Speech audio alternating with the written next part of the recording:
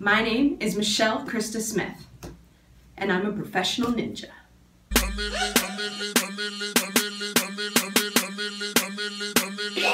For the past 13 years, I have been working as a professional stunt woman and acrobat in film, television, and on stage. Some of the shows you may have seen me in are Deadpool, Arrow, Smallville, Percy Jackson, there's more. I've been a performer my entire life, and I always will be. But where my real passion lies is teaching. I believe that we learn and acquire new skills so that we can pass them on and share them with other people. So not only do I teach staff manipulation, baton twirling, acrobatics, and fitness, I inspire people to discover their own inner ninja and unleash their inner badass. Because there was a time when I too had to go on a journey to find my own inner badass. When I was five years old, I joined a sport called baton twirling. By the age of nine, I was competing at nationals, and by 11, I was competing at my very first world championships in Italy, I would go on to compete at Worlds for eight consecutive years after that. I brought home a bronze, three silver, and a gold medal. So I guess you could say I was kind of good at it. But baton was everything for me. It was my life. I didn't go to school dances. I didn't participate in any extracurricular activities. I didn't even go to my own high school graduation. Baton always took top priority. In 2013, when I was 19 years old, I decided I was going to compete at my very last World Championships in Barcelona, Spain. My intention was to leave my baton career on a high with this gold medal around my neck. However, that is not what happened for me in Barcelona.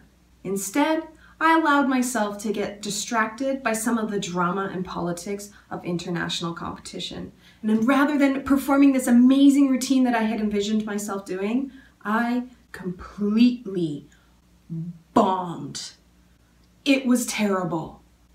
It was like a slow motion train wreck come to life. And I ended up leaving Spain thoroughly embarrassed, heartbroken, and completely devastated. But you know what? I was also angry. I was angry at myself and I was angry at my batons for having let me down. And I vowed to put them away and never touch them again. And I did that for many years. As soon as I returned home from Spain, I moved to Vancouver to pursue my professional career. I joined the circus, where I learned how to climb and perform in all these amazing apparati and lift small French people above my head. From circus, I found stunts and martial arts, which opened me up to a whole new world of movement. It was incredible.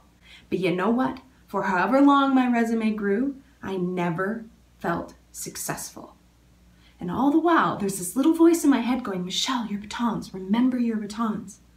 But I was still so angry and hurt by them that I just completely ignored that intuition and did what I do best training and performing. I just buried myself in my work. Ten years into my career, I woke up and looked at myself in the mirror.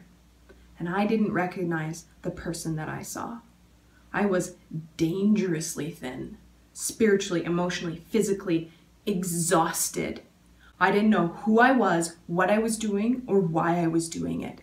I was just this empty shell of a person, and that terrified me. And I decided right then and there that it was time to take a break.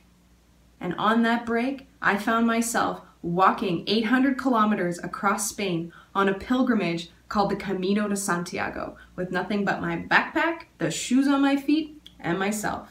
And it was here that I discovered clarity. And it was here that I discovered myself for the very first time. I realized that I had been putting on this facade of a tough girl in order to survive an elite competition and professional career. But I wasn't even that person. No, instead I was soft and feminine and quirky and weird and kind of funny. It was like meeting somebody you've loved your entire life for the very first time. But most importantly, I remembered. I remembered that I have a gift and that I'm a baton twirler. And that's pretty fucking awesome. I realize that my batons are just as much a part of me as my own arms and legs. They are my soul, they're my connection to the universe.